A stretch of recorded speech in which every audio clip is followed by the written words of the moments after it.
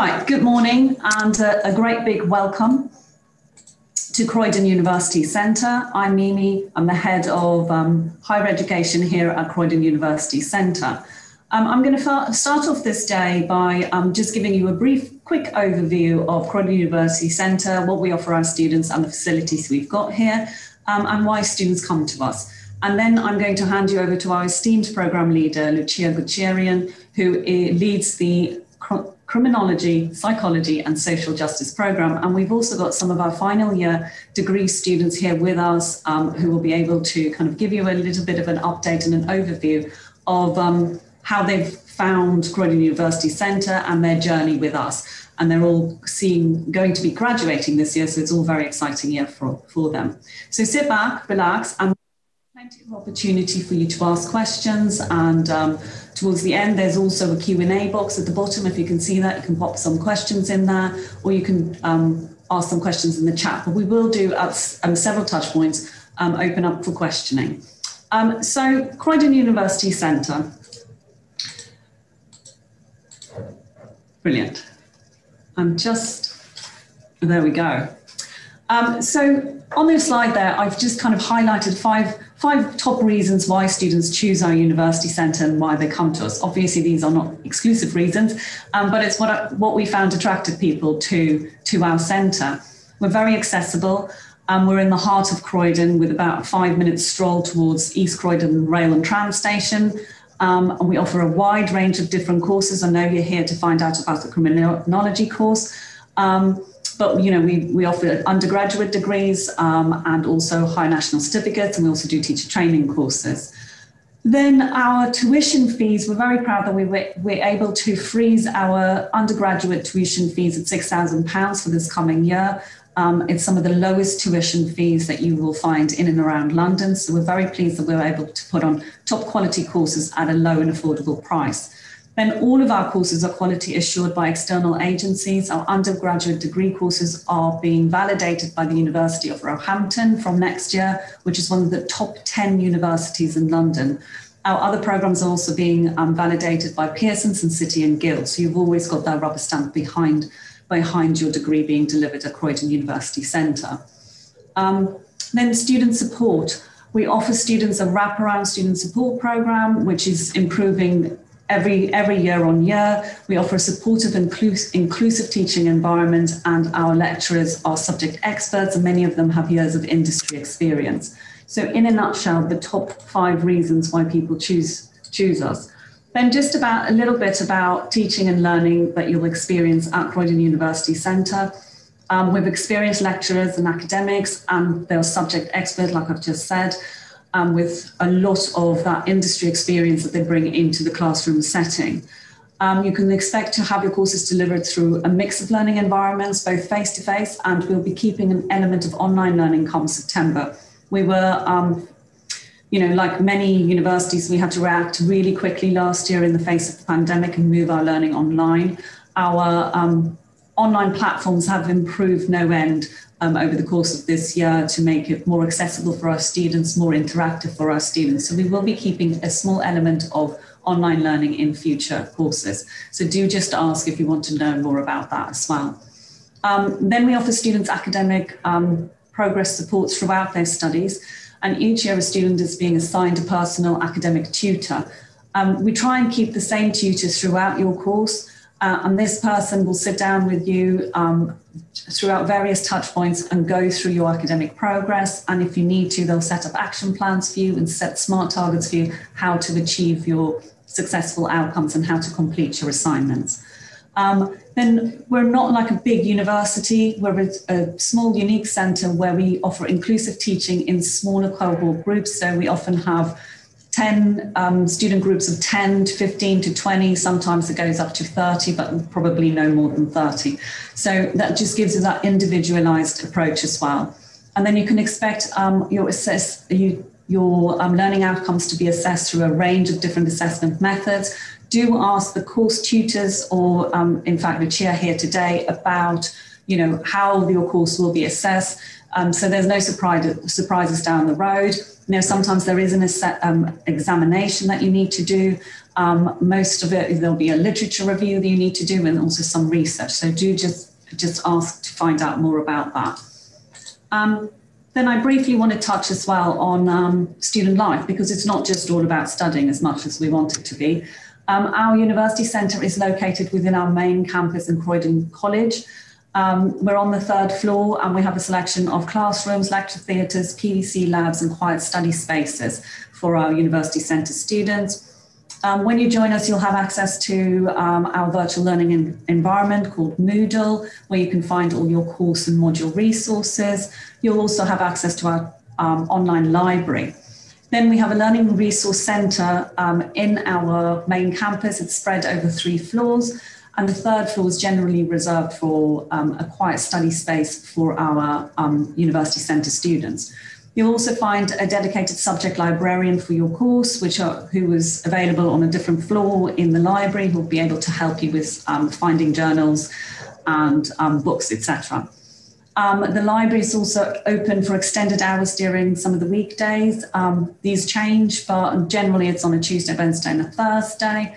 Um, so, you know, after you've finished your classes, you can stay a bit longer and work in the, in the library. And then um, for our university centre students, they also have a dedicated HE common room where it's got a little kitchenette where you can warm up your food and make your coffees and teas and just um, sit and relax with your fellow students. And as I mentioned in the beginning, we're very close to um, to the main rail station and we've got a rows and rows of cafes and restaurants and bars and box parks so if you're you know looking to the socialization side you know you can always meet up with your friends um, just across the road as well which makes it uh, just a really nice rounded student experience. Um, on your screen now is just the other courses that we offer here as well. We've got three-year full-time um, degree programs on the subjects listed there on your screen. We also offer higher national certificates and diplomas in construction engineering, business and management, as well as a teacher training course. Um, I know you're here to find out more about um, CPSJ, as we like to call the Criminology, Psychology and Social Justice course. Um, and then I'd just like to mention that we have um, a very well supported student support services department here who's, um, who can give you guidance on well-being, safeguarding, additional learning support. If there are any of you who have a learning difficulty or a disability, please don't worry. Just do get in touch with us or our additional learning support team because we will be able to meet with you and set up a reasonable adjustment plan um, to afford you some um, exam access arrangements. Um, so do get in touch. Um, if you weren't able to attend one of our support sessions earlier this week, um, do send us an email and we can put you in touch with the right person. We also have a finance department, and every second Friday there's a drop in session with a member of the finance team who'll be able to give you advice and guidance on student loans, um, on payment plans, and just general advice and guidance on, on student finance. And they're very happy to discuss any of your needs with you. Um, then that was very much in a nutshell, a very quick overview from me. I will now pass over to um, Lucia, who is our program leader here today. Hi, Lucia. Hello. Hi, I'm just going to share my screen first. Um, right. Okay, are we seeing this? Cool. Yes, Lucia, thank you. Right. So, just one second, guys. Okay, so my name is Lucia Guetcherian. I am the program leader of the BA uh, in uh, Criminology, Psychology, and Social Justice. Uh, just a little bit about what you will study on this degree. We are we have three uh, this, this is a multidisciplinary degree that connects, that joins together uh, criminology, psychology, and social justice so that students don't have to think in the first year what they want to become when they graduate. So you can take your first year to settle in, to find out about the uh, the different disciplines, and then you can you can decide which uh, which direction you want to go. So the degree examines deeply the reasons for crime and injustice in society and around the world. In the first year, you start with uh, with um, local local um, uh, understandings of crime and society, and uh, and uh, we will look at uh, minor crimes. We will look at uh, um, by the time by the time you get into your third year we will look at um, uh, crimes like crimes against uh, humanity and international crimes wars terrorism and so on. Uh, we will also look at crimes of the powerful uh, in the second year and and gangs and so on. Um, to do this we also explore topics such as human interaction and behavior, crime, deviance, and the criminal justice system, uh, societal inequality, injustices, culture, social institutions, and power relations, and transnationality and society. So the program is mainly about crime, but it is also about the sociology of crime. It is also about the psychology of crime. Yeah, so 60% of the program is focused on criminology, and then the other 40% on um, social justice and so- sociology and um, um, psychology. Now, what you will leave with, you will leave with the ability to apply theories to practical aspects of life and work. You will live with uh, um, skills of critical thinking and critical analytic skills, which are very much sought after transferable job skills at the moment. So employers want to want uh, graduates uh, that they that uh, that are that they employ to have these soft skills. So you will be trained in critical thinking and critical analytical skills, problem solving, negotiation, communication skills, and so on uh, you will have a better understanding of problems in society, equality, inequality, injustices, discrimination. Uh, you will have cultural and historical context of, of uh, problems that, ha- that, that are part of our society, not just the society that we are living here in London, in England, for example, because we are because of globalization and because of the shrinking of the world. So we will look at culture and historical context of, of uh, um, important things that have shaped the world that we are living in now. When you leave, by the time you leave, you will be able to do all these things. And but additionally, um, you will be able to do two things. You can either go to empl- to an employment. You know, you can you can find a job with your degree and go to um, uh, go into employment. Um, and in the second year, we will we have a volunteering module which will um, with with uh, in which we will guide you and try to help you to find jobs. Um, or you can the second option is to continue your education at master's level. Uh, some students have even gone on to do their phds from when, when they graduated from us. Many many students uh, usually end up doing their masters um, in very in, in excellent uh, universities some of the areas of employment, some of the career pathways that you can choose after this degree is that you can become a police officer, you can become a crime a cri- criminal profiler, a counseling psychologist, you can become an, a government advisor, prison officer, forensic psychologist, you can go into forensic science uh, you can become a teacher a mental health worker. So there are many this is not this is not an exclusive uh, uh, list of um, areas. Because it is a multidisciplinary um, program and because because you get you, you you get to know um, a lot of different things. So so this degree opens a lot of doors for you in the area of employment and also for um, further um, um, postgraduate um, studies. So this is some of the um, uh, testimonies that our students have said about us. Uh, so they like how they are able to find that what they were interested in, especially because the degrees like it's it's because it's got three disciplines. So the students were happy that they didn't have to concentrate on find on knowing at the beginning what they want to become at the end. Uh, they like small classes. Uh, we have uh, quite small classes. Uh, numbers are maximum uh, 25 people in a class, but it's it's rarely that. So we have a year three, for example, right now, which is co- which consists of 10 people. we have year one, which consists of another, again, 10 people. So we have personalized interaction with our students in order to help them to achieve uh, their um, potential.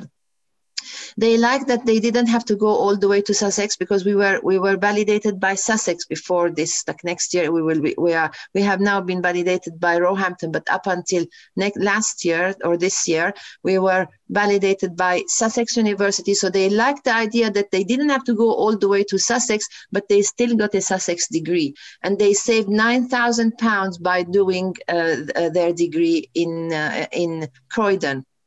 Uh, so this is Mimi talked about this already. We we are we've managed to freeze our fees uh, in order to uh, so that students are not um, you know inundated with debt even before they start their um, uh, their employment. They liked how they could experience. I like this bit here. Uh, they like they experience mundane things without becoming without being becoming bankrupt and they liked how they could apply a lot of the program to things outside of uni. Um, we have an opportunity now uh, with our three fantastic, excellent uh, final final year students, uh, where you can ask them questions about the degree and their uh, their experience before I before I go on to do a little uh, taster lecture about serial killers and what motivates serial killers and theoretical explanations about serial killers. So, um, is it Ike who's going to start first? I'm going to stop sharing now. I will come back to this uh, just to give an opportunity for you to ask uh, to ask your questions. Oh, okay. Thank you very much, Lucia. Thank you.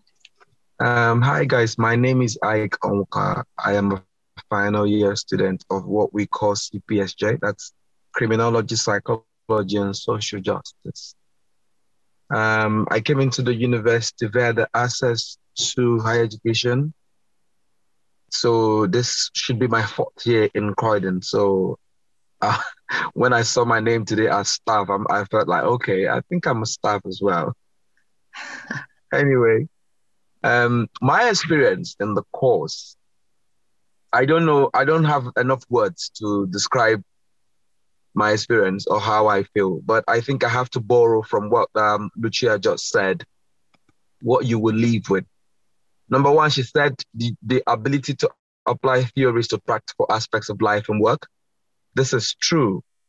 In my own case, from when you get to study uh, criminology, you will learn so many theories about so many things. The way we live. Let me give you guys an example. You see, when we do primary school, secondary school, colleges, these things has been tried in the past for, for centuries. There are so many theories that, that guide the curriculum that you see now. The levels of skills. You study something like um, uh, development of childhood you will find out theories of so many people who has gotten up to where the society is today. And then critical thinking is one thing that she said. How you analyze different things in life, in your work, in your personal life, in your business. When you get to study criminology or CPSJ in general, this is what this course is all about. For me, I see critical thinking as back and forth, advantage and disadvantage, what what works and what doesn't work. That's the way I think it's good thinking. And so far, it has helped me to improve in my work in school. And then also communication skills. The way I speak today, honestly, that's not the way I used I was speaking three years ago. I was very shy. I couldn't hold a conversation. I mean, I, I, I could talk to a girl, but not to talk to people like this. I wasn't this, I, I'm not saying I'm good, but I'm better now. And I got to learn this because of the kind of interaction you have in class. We don't have a big class, like Lucia said. We have 20, 20, 10 people. So it's like tailor made for you. You get to ask all sorts of questions, whether they mean anything or not. So this interaction kind of builds you up to become a good speaker, you can communicate well. And then we have the student services. that you can just walk in and then get stuff done. You, I don't know about other universities. I, I attended a um, higher, higher institution in Nigeria before I came to Europe, but I didn't have all this kind of all this kind of benefits. And finally, one good thing, I don't know where you guys live, one good thing that made me to come to Croydon College was where it was in the center of Croydon, because I live in Surrey, so it takes me 15 minutes to get there. And the time that the lecture starts is, is perfect for someone that has two kids. Uh, so I, I do business. So it, it works for me. It doesn't affect my work. It doesn't affect me picking up my kids when they close by 3.30 in Surrey. So it was just perfect. Most people didn't even know that I'm in uni because it didn't disrupt any of my activities. So people are beginning to find out that I'm in uni because of the way my life changed, the way I carry myself changed. They started thinking, what's going on? And I told them, oh, I've been in university all this while. So this is my personal experience. I could go on, but I'm just going to wish you guys well if you join the course.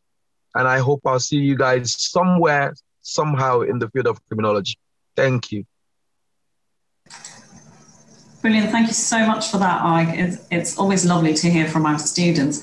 I don't know if uh, Charlene or Max um, want to add anything to that. And if there's any questions, please do pop them in the Q&A at the bottom. I've got Charlene here with me. Charlene, hi. Hi. Hi, guys. Um, hi, everyone. I'm Charlene. Um, like I come on the third year of CPSJ. Um, when I first came to uh, CUC, I was actually meant to study law. I ended up on CPSJ. Um, I come from a legal background, um, but I had like 15 years experience working in legal departments and stuff. So I wanted to do a law degree, but I ended up doing CPSJ. And I have to be honest with you, I think it was the best thing I ever did. I don't regret doing CPSJ at all. Um, you don't get bored on the course. I've never been bored, even if it's not a subject that I'm really interested in. I get engaged into the lesson. Um, Lucia is a fantastic lecturer. Um, the other lecturers are fantastic. Uh, you learn uh, such a varied uh, multitude of subjects across the disciplines. It's just amazing. Um, accessibility, you can't go wrong. It's just literally uh, two minutes walk from the station, East Croydon. Um, it takes me literally 10 minutes to get into uni. But what I have to say about the course is the way that when we got hit with the COVID um, pandemic last year and we got hit really bad, it didn't impact our studies. Um, the course was resilient. Um, we were still having online lectures, we were still doing group work, we were still doing our presentations online accessibility to your lecturers. You could book your appointments online and have face to face appointments on Teams or Zoom. So, yeah, um, I would definitely recommend this course for anybody that's interested in social justice, psychology, criminology. Um, I mean, three years later, I've come out of this, well, God willing, 28th of May. Um, I'll be leaving this course on the 28th of May and it's just changed my whole way of thinking about everything, even in the supermarket, honestly. Um, so yeah, I would definitely recommend giving the course a go and wish everybody luck. Thank you very much. Brilliant, Charlene. Thank you very much for that. I don't know how you walk across the road in two minutes. It takes me at least five to seven minutes, but yes, it is close, like you said.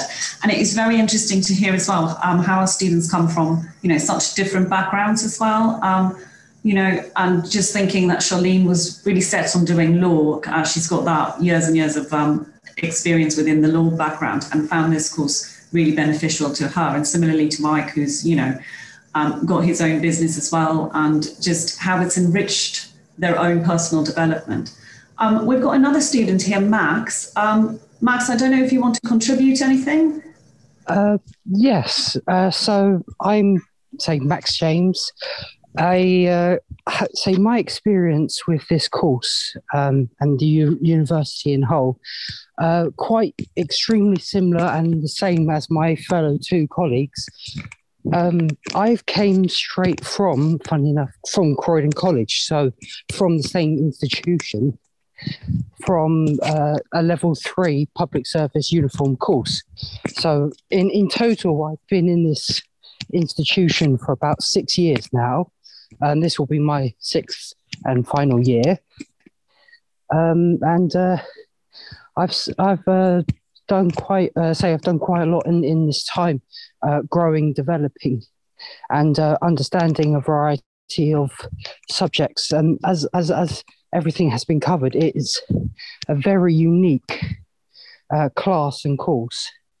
The um the understanding of it is is quite interesting in, in many regards because uh, the people who join the course with you tend to be people similar to you in the aspect of wanting to learn, wanting to understand, and wanting to develop. So you end up making a close knit of uh, understanding and, and, and, beliefs, and it, and it's it's very helpful and uh, gratifying uh, being able to develop and learn and, and feel safe developing in front of people you've just met, but you grow with throughout the um, three years of this course. Um, I myself uh, have, let's say, autism, dyslexia, and dyscalculia. I would say dyscalculia. I apologise. Um, and say I've not been the most academic, but I've still managed to get a very good grades and everything with the help and support of Lucia and the fellow staff members, along with um, let's say the rest of the university. Um, but yeah, this course is extremely beneficial because I never knew what I obviously wanted to do leaving college, but joining this uh, course, it helps control your mindset and help you sort of concentrate on growing yourself, but then understanding what uh, aspects are. Uh, but yeah, say it is very uh, interesting course, and I hope, as Ike said, um, that you choose this university, but also choose this course specifically, as it is a great opportunity, um, no matter what. Uh, but yeah, sorry, thank you. Max, thank you so much for, for your honest sharing there. And, um, you know, it's, it's good to hear as well that you guys, you know, form that close knit bond because your your cohort specifically has has gone three years now together um, in classes and online classes, and you know I, think it's probably one of the best supported cohorts we have here at the University Centre. You've also got your own um, criminology society, which often debates and have guest speakers, which is another you know plus point. And you've all become such good public speakers.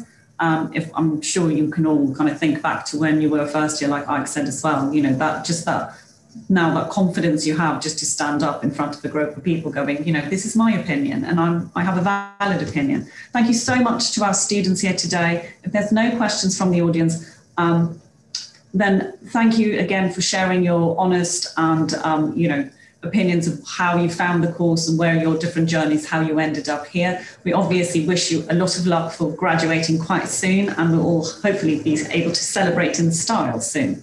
I'm going to now hand over back to Lucia um, to give us a little uh, mini lecture on serial killers. So this should be an interesting one. So sit back, relax, and enjoy, people. Thank you very much. Okay, guys, so I'm going to start my lecture. First, I'm going to share the screen. So this is where we were last, the last screen, the last time. Uh, okay, so this lecture is about serial killers. I will provide definition uh, of what is a serial killer, motivations of serial killers, what makes serial killers kill, uh, why are they so difficult to spot, why do they kill, and then we are going to look at some theoretical explanations. I hope you enjoy the uh, the lecture, and I will take questions at the end if you have them. Uh, right. First of all, uh, throughout history, the phenomenon of serial murder has been studied by using biological, psychological, and sociological explanations. You have uh, you have not just serial killers, multiple multiple murderers involve different kinds of killers. So you have uh, mass murderers who kill four people at one location, four or more people at one location. These include things like genocide as well. You have spree killers who kill more than two people uh, in one location, in more than one location, sorry, uh, and although their murders occur in separate locations, but their spree, which is the sustained period of unrestrained killing, is considered as a single event. But you also have serial killers. Serial killers kill three or more victims uh, in different locations, so in separate on separate occasions in different locations. They are uh, usually they usually select their victims very carefully. After the kill, they have a cooling off period, and they plan their next murder very carefully. Some serial killers travel widely uh, to find their victims, such as Ted Bundy, who used to go like excursions from one state to the other in order to find people and kill them uh, and others remained in the same geographic area. For instance, you have uh, Jeff Dahmer, who brought people to his house. You have in the UK, you have Dennis Nilsen, you have Fred and West, Fred West and uh, and his wife Rosemary, and you have uh, other people who bring their their um, um, victims to their own dens in general, it is it is uh, uh, less likely. I mean, uh, transient or people people serial killers who travel widely are are uh, not as many as people who are uh, static. People who bring uh, victims to their own areas or to their own houses. This is because serial killers are, are creatures of habit and they are creatures of habitat. They want to, they are um, they like that uh, they like to bring people into their own areas so that because they know the area well. They have they know where the dumping grounds are. They know where to um, snatch people without without being spotted and so on. Kills are separate and they often escalate over a period of time, sometimes years, and they will continue until the killer is either taken into custody or dies. Some serial killers have never been found. We have a lot of people who, who disappear in the world and we never find them. They could very well have, have been uh, victims of serial killers. We will never know unless we catch them.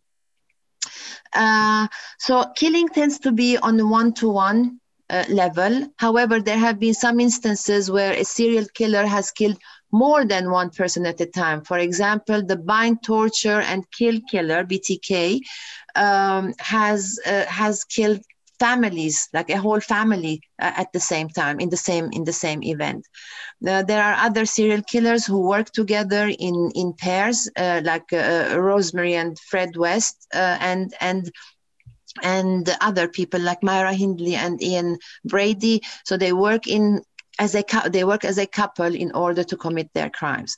The most important thing from the definition is that serial killers always always have a cooling off period between murders, and their murders are carefully planned. Eh, they are not some random, uh, some randomly kind of wrong place, wrong time kind of uh, uh ram- randomness. Serial killers are stalkers. They stalk their victim like predators stalk their uh, their prey um, on the on motivation of serial killers. So i mean it's very difficult to catch serial killers because if if uh, the first thing that that investigators look for is motivation. Why did someone kill someone else? If you if there is no motivation if the motivation is not apparent you won't be able to kind of come to you won't be able to think about why somebody killed somebody else. So among the widely debated aspects of serial killing or serial murder are differences in the motives in the motives behind the crimes. Uh, in media outlets, so the media portrays serial killers as mindless killers who possess no real motive.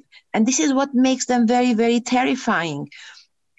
Uh, the police and psychological profilers disagree with the media because they say that serial killers do have a motive, but this motive is not apparent immediately. You need to have more than one kill for you to be able to compare the victims together so that you can know uh, what is motivating them because the motive is usually intrinsic to the person. The motive is very, very personal to, to the to the killer.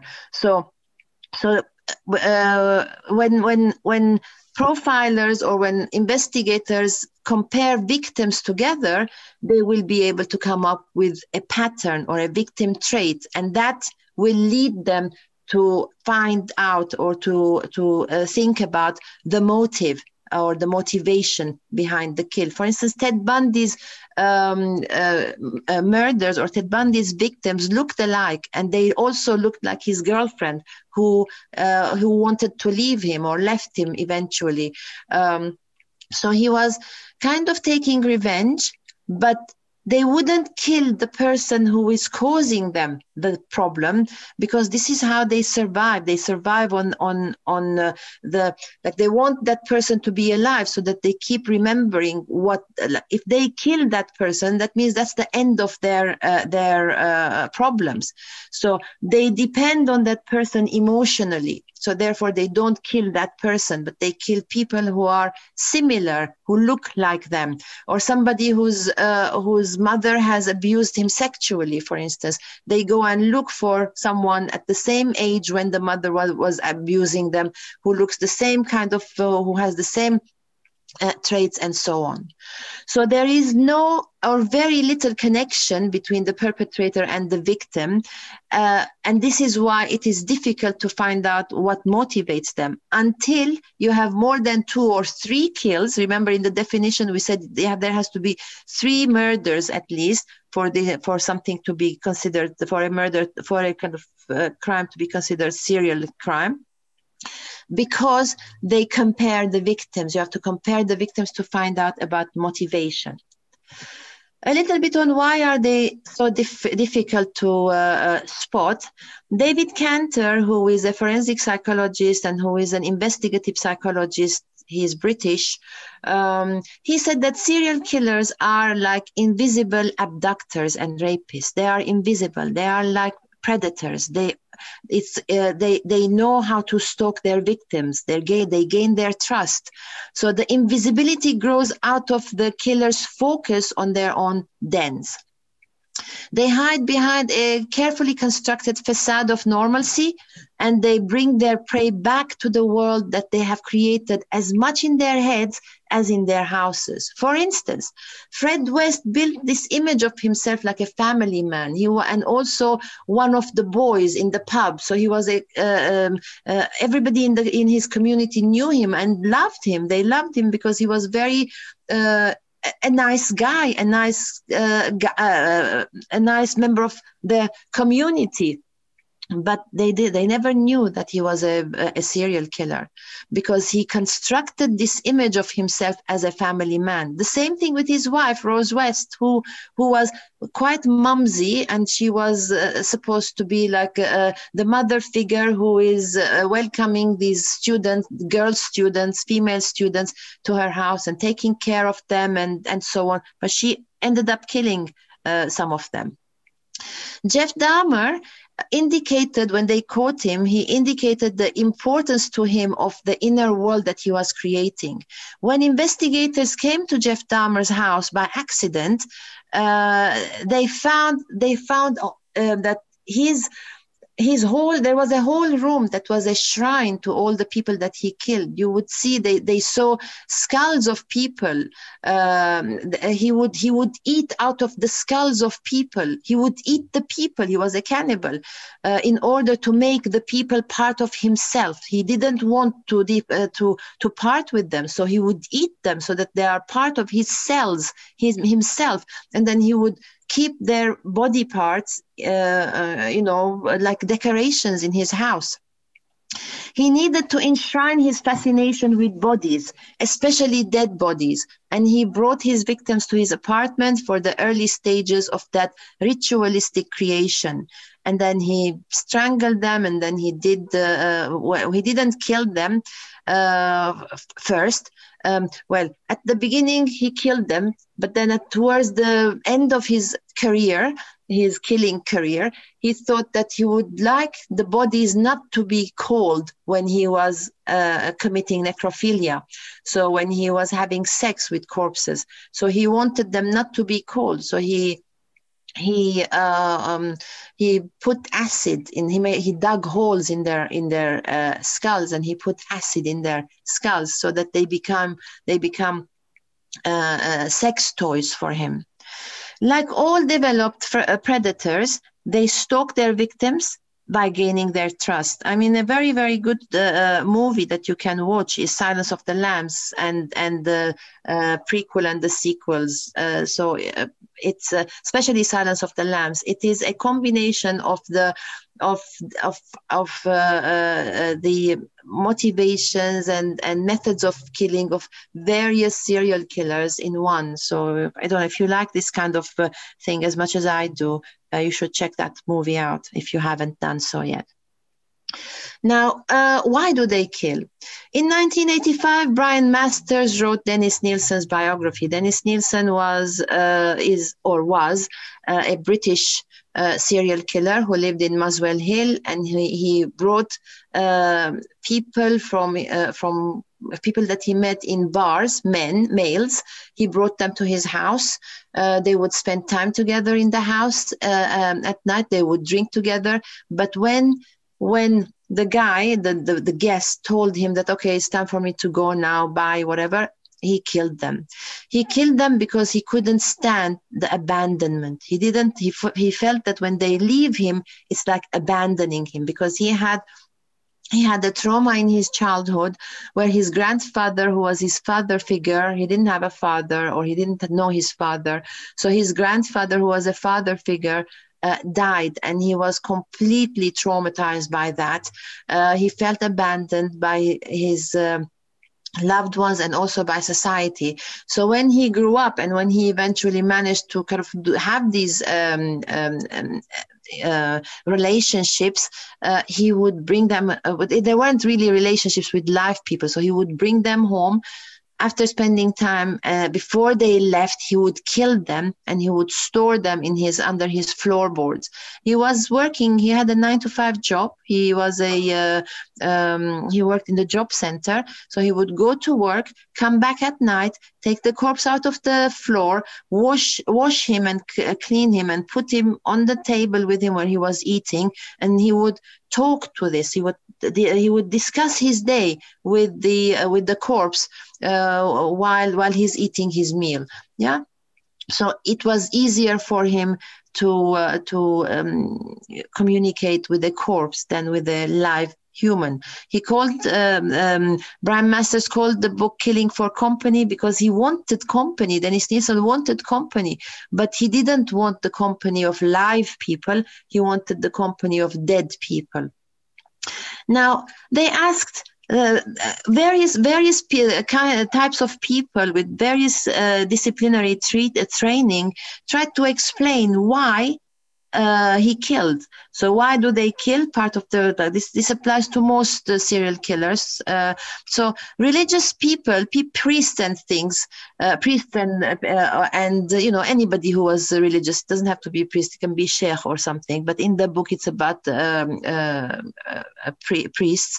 So religious religious people identified Nilsen as a messenger from the devil.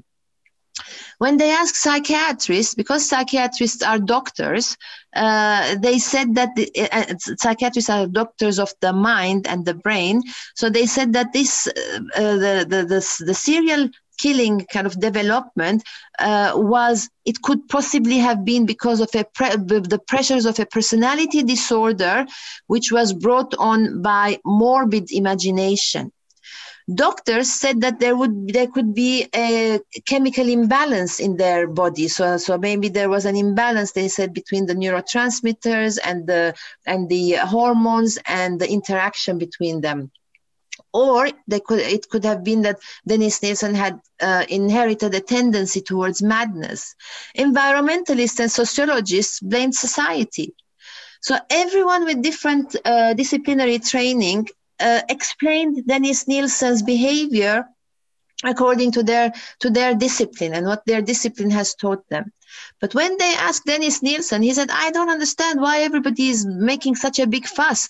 I probably enjoyed those acts of killing. Poor Dr. Bowden won't be satisfied until he has a reason. Well, enjoying it is as good a reason as any. The answer might lie in the fact that I could just be a bad bastard. So this is a very, very, um, first of all, it's insightful. And second, it's quite scary. This, uh, I could just be a bad bastard because, um, because like if, if we are going to think that people can give birth to a person who could just be a bad bastard and end up becoming a serial killer, that is a very terrifying thought. Yeah. However, um, in uh, I mean, um, we have we can we have to explain, of course, serial killing like everything else. We have to explain this theoretically. There could be something genetic in uh, in why people become a serial killer.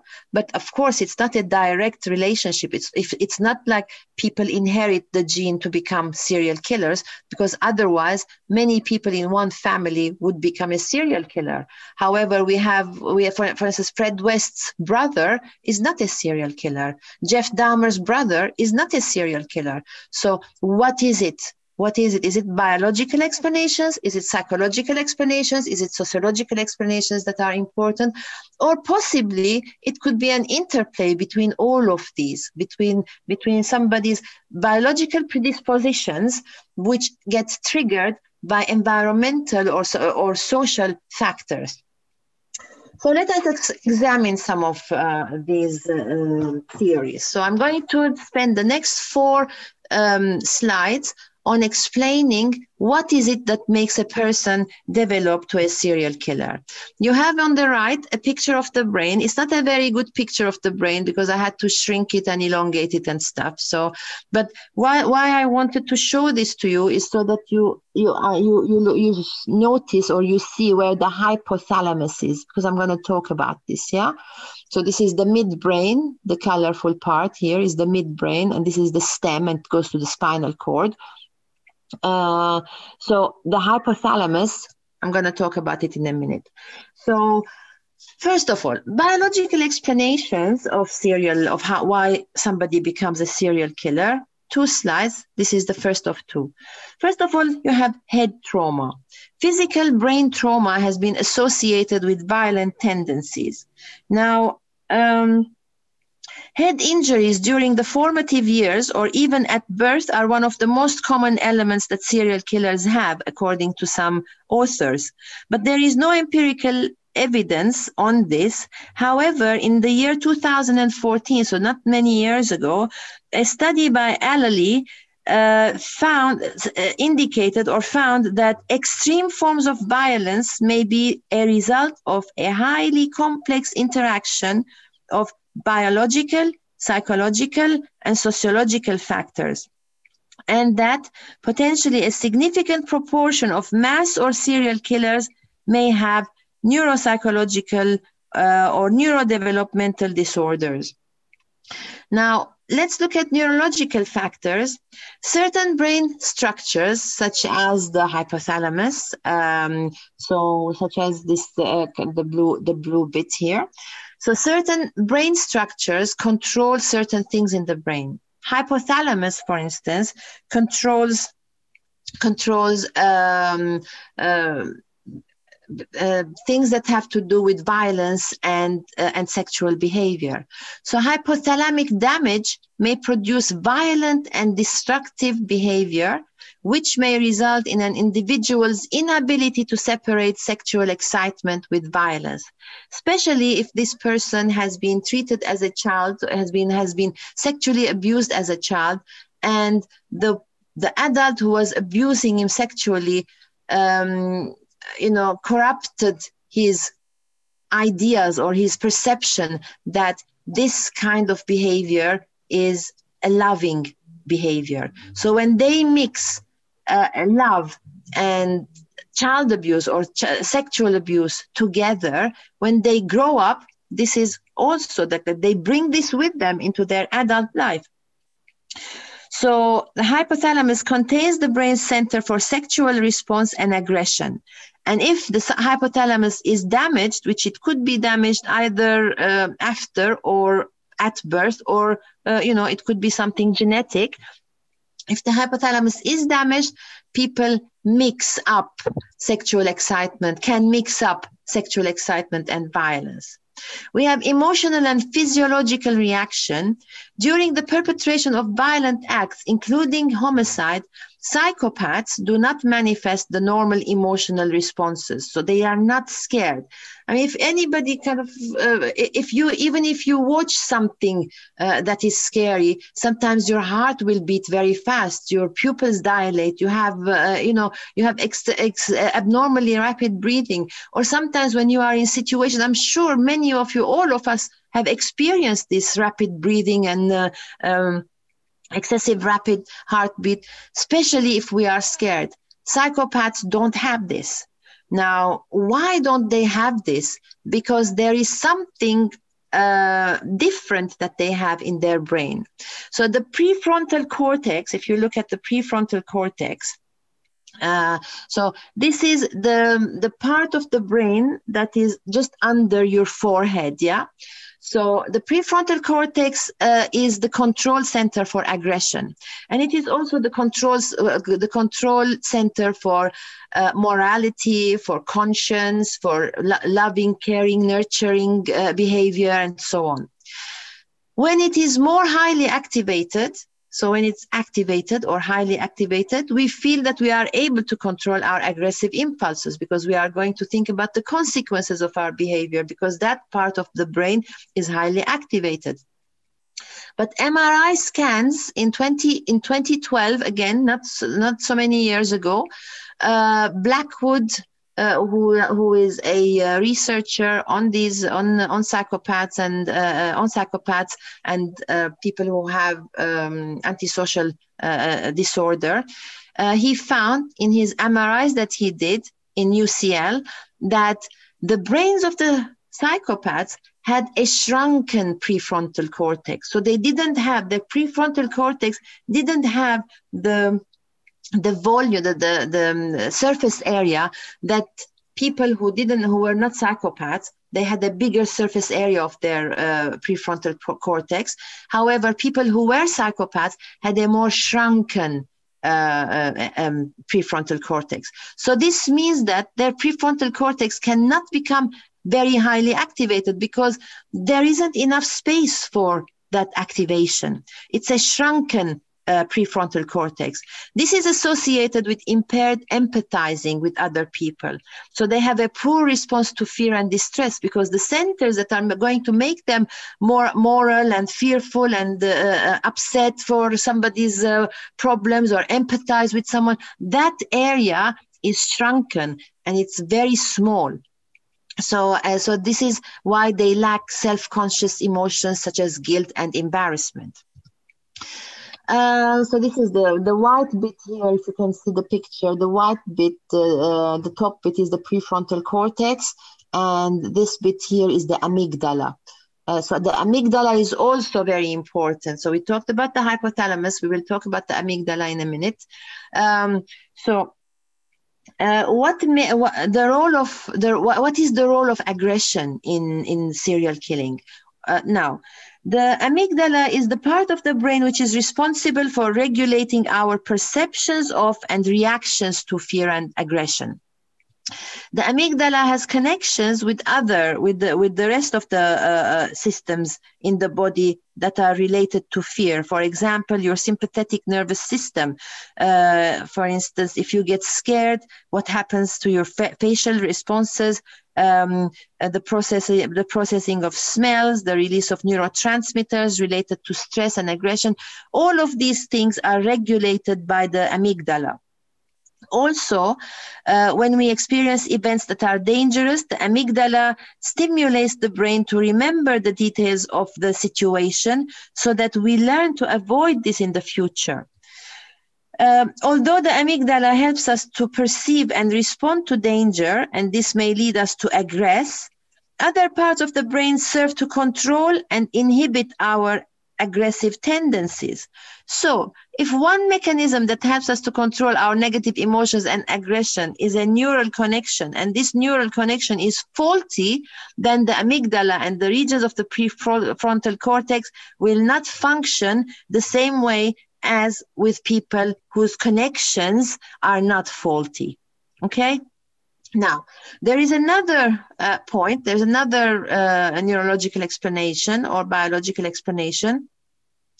Deficits in the um, in the neurotransmitter levels called serotonin. So serotonin is a neurotransmitter which is uh, uh, which is um, uh, uh which is in the brain and it's responsible for um, the the um, you know it, it is chemicals chemicals of the brain yeah.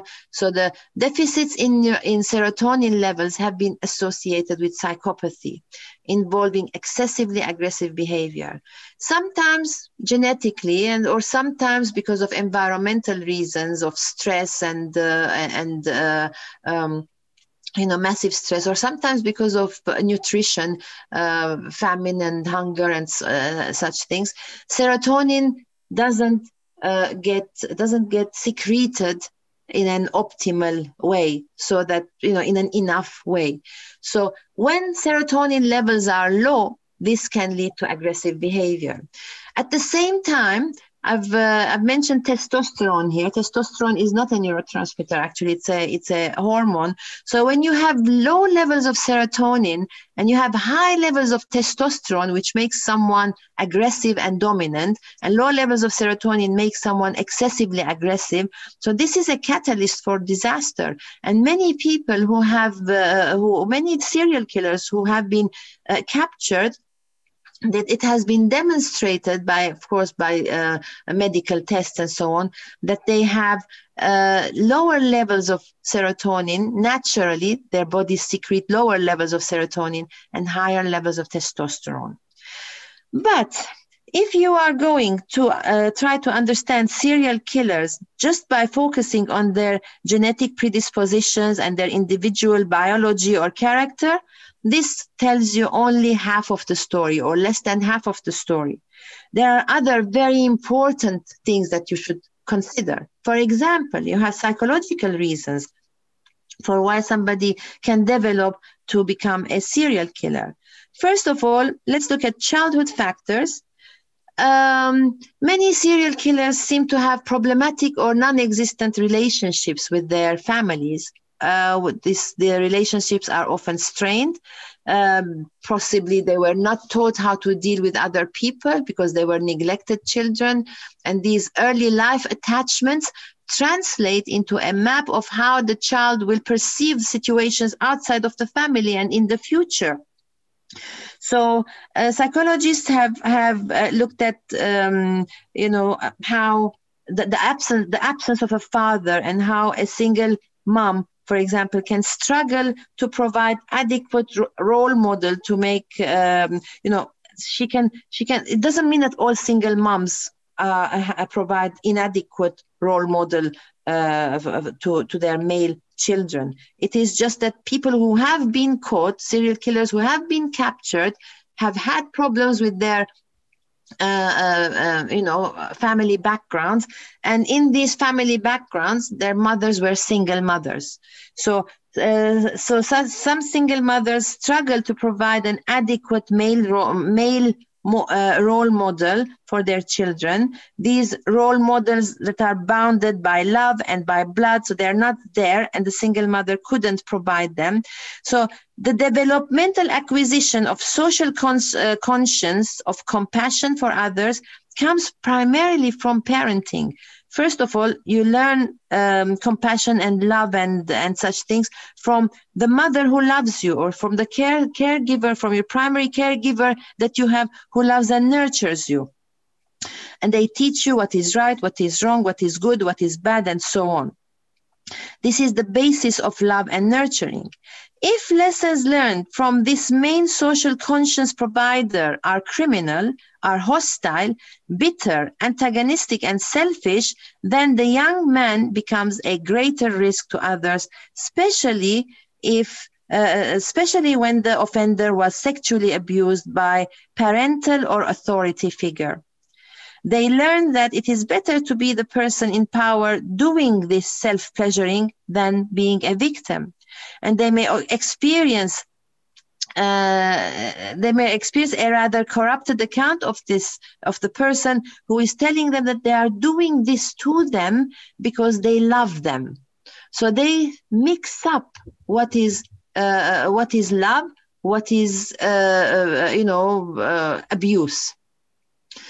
Uh, so, ineffective bonding this can lead to isolation. Ineffective bonding can lead to isolation, uh, where the child has been neglected, where the child has been, for instance, uh, Kemper's uh, Kemper's mother put him in in in their basement because she said that he was going to sexually abuse his little sister. So Kemper was 10 years old. His little sister was even younger. And Kemper said in the in future, like when they caught him, he said he had no idea what she was talking about. But she put him in the in the uh, basement of their house, locked him up, and treated just they just gave him uh, food. So um, so they could they didn't bond. And when when he was left alone in the basement of the house this isolation made him think made, made him have violent fantasies of what he would do when he comes out how he's going to take revenge on his family who is keeping him in the basement like a like a uh, like a pet like a dog he said. So so this isolation uh, with intense violent fantasies become the primary source of gratification. So they want to the only thing that he had in that basement was to to think about how he's going to take revenge all the fantasies of how he would kill his mother. Instead of developing positive traits of trust security and autonomy uh, which a child should develop when they have a nurturing uh, relationship with their mother or with their family child development in Kemper's case and in other people's case who have similar experiences, it became dependent on fantasy life and its dominant themes of morbidity, of violence, of killing, rather than routine self, uh, routine uh, healthy social interaction. Uh, finally, I want to look at uh, some sociological uh, explanations. Um, Right. Sociological explanations include things like uh, cultural violence. Um, just quickly, the USA is home for the vast majority of serial killers. So, so we have 68% of total serial killers in the world from 1900 until now, which have been counted, and there are some something. The figure is around 4,700 and something for uh, nearly 5,000 people. So 68% uh, of those have come from America. So sociologists said that if 68% of uh, uh, um, serial killers are coming from America, from the USA, it means that it's not so much biological and psychological factors, or it's not so much biological factors that are important, but sociological factors are much more important because otherwise uh, everyone in the world would have had the same uh, uh, number, the same percentage of serial killers. For instance, in India, you have 3.5% um, of the total number of serial killers are from India. In the UK, you have 3 per, uh, 3%. Uh, uh, sorry, in, in India, I think it's 3%, and in the UK, it's 3.5%. So that is 66 serial killers. Yeah. So, um, so so this means that if it was genetic, everybody would have had the same kind of percentage. But we have a big concentration. So serial kill, uh, the USA is home for the vast majority of serial killers. So sociologists try to explain this by by sociological factors. Some of these factors I'm going to talk about. So uh, the media, films, news and the internet provide a constant and ceaseless dyad of violence and sex, and the lines between reality are blurred by watching people killed with impunity. When the young man who is alienated grows up seeing violence as a means to an end, that changes him. And also the USA, uh, so, so there's many, there, there are, you know, I mean, there are more guns in the USA than people. So, and there is also this obsession with using guns in order to solve grievances. So, this person who is who is seeing violence as an a means to an end becomes a greater risk to others, and uh, especially because he, he he would own a gun. Uh, compared to 2022 other high income nations, the USA gun related murder rate is 25 times higher, although it has only got um, its although its population is uh, like uh, it has it has 4.5% of the world's population, but it is it has 25% more uh, uh, murders by the by gun. So the USA has 82% of all gun deaths in the world. 92% of all women are killed with guns. 91% of children. 92% of all young people who are aged between uh, 16 to 24 years old are killed by guns.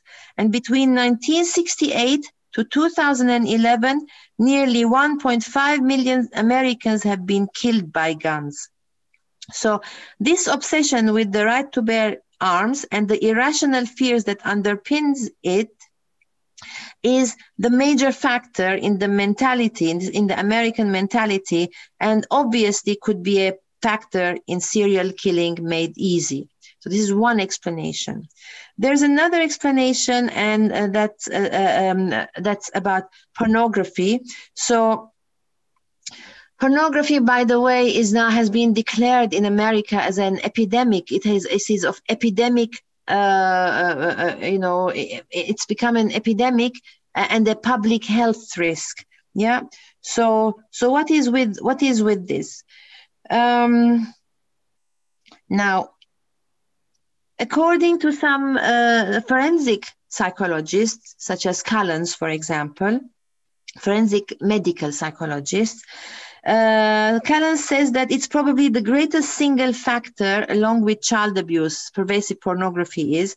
So when you see other people, he's explaining this. So he says, when you see other people uh, debased as sex objects, uh, used solely for personal gratification, men and women subjected to those extreme types of sexual violence and often not seeming to resist it, or indeed they are actively consenting, when sex becomes a cultural form of entertainment to be purchased and promiscuity has lost its social sanction, nobody cares about promiscuity, um, and the young men uh, uh, the, and young men view women or gay men in a combination of contempt, resentment, anger, uh, and they are unsuccessful with finding their own personal relationships themselves, they can become significantly greater risk of violence towards women, especially if they are able to pejoratively objectify women as targets. But this doesn't mean that everybody who watches pornography is going to become like this. This is a special situation where where uh, people who are watching this are developing contempt and promiscuity, uh, sorry, contempt and resentment and anger. And at the same time, they cannot find their own um, sexual partner. So, and they start seeing people as uh, flattened out objects on whom they can perform their fantasies. There's another very important point why in the USA we have, uh, or they have 68% of the total number of serial killers in the world. It's because there is a whole culture around, around, around, sorry, around celebrity status of of uh, uh, serial killers. In the USA, the high level of serial killing is a malign product of gun obsessed, violent pornography addicted, socially fractured subculture with huge investment in sexual violence as business, and where serial killers become celebrities who get marriage offers. Uh, there are people who ha- who buy, for instance, John Wayne Gacy's um, uh, clown clown paintings because John John Wayne Gacy used to to dress up as a clown when he was when he would uh, kill the young boys who he that he brought to his den in order to rape and kill. So he would be dressed up as a clown. And he has lots of, he painted lots of clown pictures. So many people pay so much money to buy these things. They are paraphernalia related to serial killers. So it's a celebrity status. We, we still hear about Charles, Charles Manson. Everybody talk, knows about Charles Manson. Uh, so um, Ted Bundy, uh, instead of seeing the the you know the dangerous of the dangerousness of Ted Bundy, people focus on his handsomeness and so on. Uh, so there is a celebrity status, and serial killers get offers. In while they are in prison, they get marriage offers. So the, all of these sociological explanations also have a very, very important impact. So in conclusion, uh, one theoretical perspective is not sufficient to explain the phenomenon of serial murder.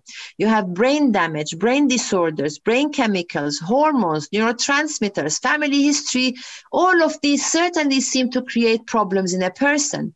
However, one has to question why the characteristics of serial killers and psychopaths always involve, child, involve childhood horrors of abuse and neglect. So you have sociological factors. If a psychopathic serial killer is born, then why do they share sociological um, experiences and psychological experiences? Circumstances that promote extreme violence are the combination of a history of extraordinary early ongoing abuse, some kind of brain dysfunction, and psychopathic behavior cannot be linked to one source. Serial killers and psychopaths are very complicated individuals. And I want to end with Ramsland, uh, Ramsland's quote The biggest lesson that we have learned from brain research is that violence is the result of a developmental process, a lifelong interaction between the brain and the environment. So this means that our brains can change based on the environment that we are experiencing. If we live in happy, loving, nurturing environments, we will be more balanced people. And if we live in a in an environment where we are constantly scared and traumatized, we will become anxious. We will become imbalanced. We will become, uh, um, uh, you know, we will have a difficult kind of uh, transition into adulthood. So this is a little bit of a taster, and I will be happy to take any questions if you have them. I hope you enjoyed it. Wow, Lucia, that was um, certainly very um, topical, and um, I can't find words now. I'm just um, so overwhelmed by it all. What an absolutely, absolutely fascinating um, lecture there, mini lecture on serial killers. Um, we those attendees aren't shocked to the core um, with all of that, but that is a taste of what you can expect if you join the CPSJ program. Um, for those of you who are um, who need some support and guidance after this session, do get in touch with us if, we, if you want to talk through some of these topics. Um, Lucia, thank you so much for that contribution. I can't see any questions in the. Is there any questions? I can't see any questions in the Q and A on the chat. Um, but most certainly was was very very interesting and um, what's the word I'm looking for? Thought provoking, certainly, and just how the minds, how how one's brain can be developed through a series of you know interactions from your childhood and the, the whole developmental stages from childhood and how that changes. Um, fascinating, absolutely fascinating. Thank you so much for that today. Thank you to our lovely panel of students who were here today. Um, and again, do get in touch with us if you want to know anything a bit more about the, this fascinating program, CPSJ. Um, thank you, everybody, and we will leave it there for today. Thank you.